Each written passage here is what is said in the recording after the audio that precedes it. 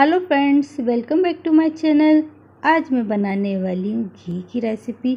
आप घी कैसे बनाएँ और जो ज़्यादा क्वांटिटी में और बहुत अच्छा घी बने।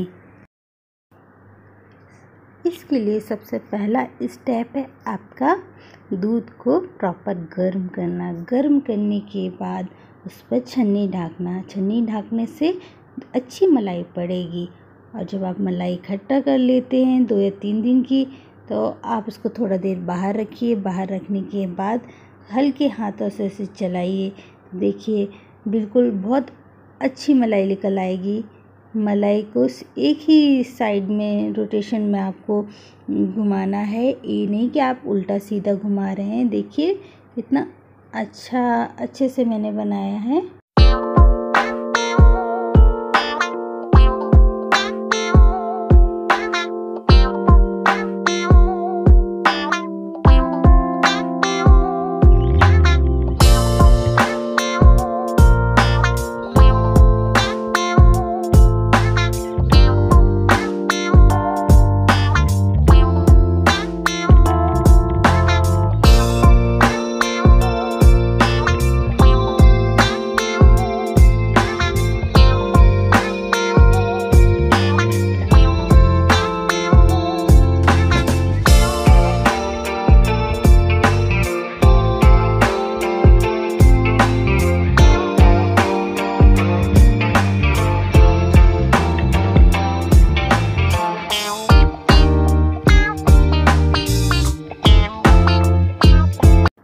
हमारी मलाई इकट्ठी हो चुकी है। इस मलाई को हम एक बाउल में अलग से निकालेंगे। देखिए, प्रॉपर है। एक एक हफ़्ते की मलाई है। मैं इसे फ्रीज़र में रखती हूँ ताकि इसका कलर भी अच्छा जैसे मार्केट में मिलता है, येलो वैसा है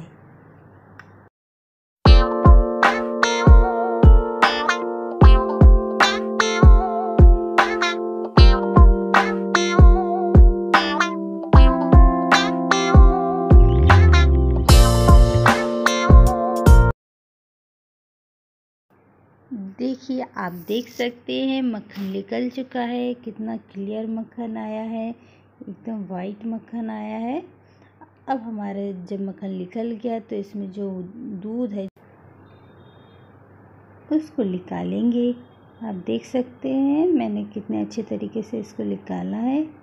आप इसको छान, इसके दूध को निकाल सकते हैं, जो हमारा बाद में मठा बनेगा।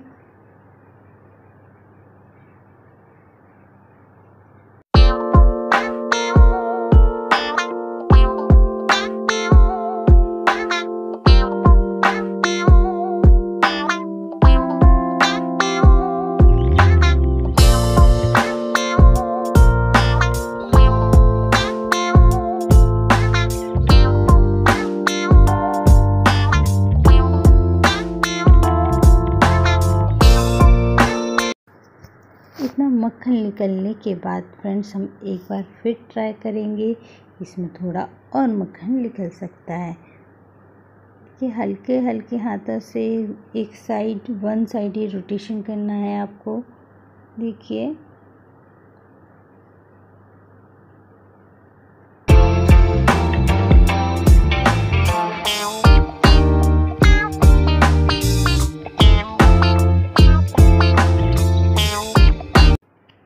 मथानी से भी मस सकते हैं फ्रेंड्स इसको। देखिए, जैसे मथानी आप चलाएँगे तो बचा हुआ जो मक्खन है, वह भी आसानी से निकल आएगा।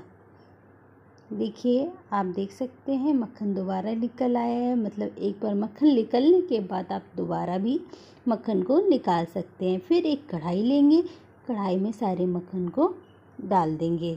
डालने के बाद आप उसमें आधा नींबू काट कर इसमें निचोना है।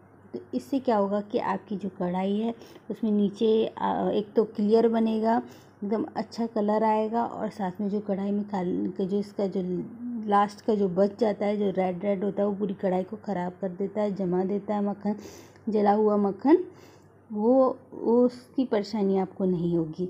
आप आराम से अपनी कढ़ाई को साफ़ कर सकते हैं। देखिएगा मेरे आगे वाले वीडियो में, इसी आगे वीडियो में देखिएगा कितने अच्छे से मैंने इसे बनाया है। ना ही हमको एक मेहन, ज़्यादा मेहनत करनी पड़ेगी और हमारा घी भी अच्छा बन जाएगा। कई बार होता है कि हमें बहुत जल्दी होती है, हमें बाहर जाना होता है तो आप इसकी फ्लेम को हाई कर सकते हैं और कंटिन्यूस इसे चला सकते हैं चम्मच की सहायता से। तो आप देखिएगा आपका जो घी है वो टेन मिनट्स में बन के तैयार हो जाएगा। मैंने एकदम हाई फ्लेम कर लिया है और साथ में चम्मच को चलाते जा रही हूँ। आप देख सकते हो कि कितना बढ़िया कितना अच्छा बन रहा है।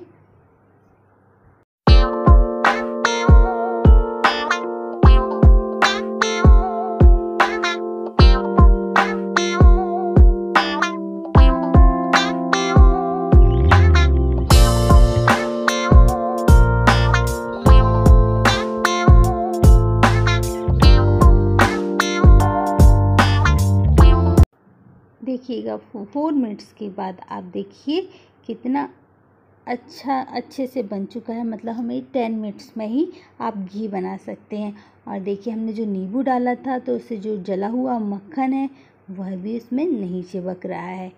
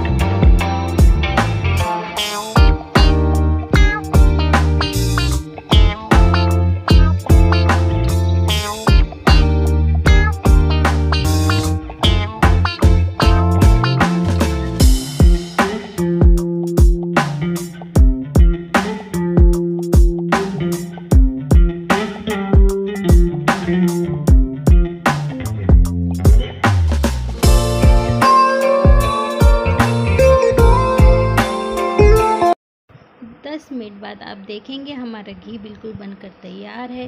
जो मक्खन है, बिल्कुल भी कढ़ाई में नहीं चिपका है। मतलब आपको मेहनत नहीं करनी पड़ेगी कढ़ाई साफ़ करने में। आप देख सकते हो, फिर इसे एक छन्नी की सहायता से किसी डिब्बे में आप छान सकते हैं। देखिए, छानने के बाद कितना येलो कलर आ रहा है। बहुत ही अच्छा घी बना।